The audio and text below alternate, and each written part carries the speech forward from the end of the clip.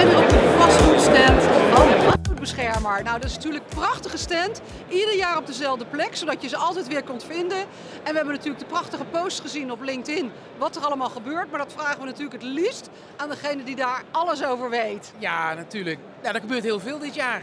En, uh, we zijn weer blij om hier te staan. Het is weer gezellig om de mensen weer te zien.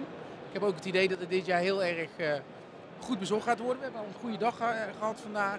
Nou ja, en uh, het is altijd leuk om je relaties weer te ontvangen en nieuwe mensen te ontmoeten hier. Dus... Ja, en, en wat hebben jullie het afgelopen half jaar, hè, sinds de laatste Provada, wat is er allemaal bij jullie gebeurd? Nou, er is wel wat gebeurd, uh, links en rechts. Maar voornamelijk uh, zijn we heel druk geweest met mensen uit Oekraïne. Dus dat betekent, dat heeft best wel wat voet in de aarde gehad. Ook op een positieve manier dat je mee kunt helpen. Panden gereed maken, locaties zoeken. Alleen dat komt er dan wel in één keer bij. En we merken nu weer dat het, ook weer het leegstandbeheer weer aardig in de lift zit. Dus nieuwe dingen, projecten gaan wat langer duren. Dus ja, dat is volgende. Hoe denk je dat dat komt? Nou, ik hoor iedereen over gestegen bouwkosten praten en vergunningen. Dus, maar goed, dat is niet mijn tak. Nee, precies. En, en wat kunnen we het komende jaar van de leegstandsbeheerder verwachten?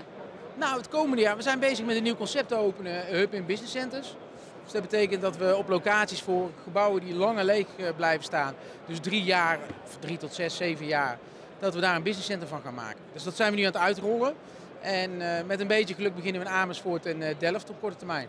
Wat fantastisch, want dat is echt helemaal nieuw. De vastgoedbeschermer gaat dus echt iets heel nieuws doen. We gaan er iets nieuws bij doen.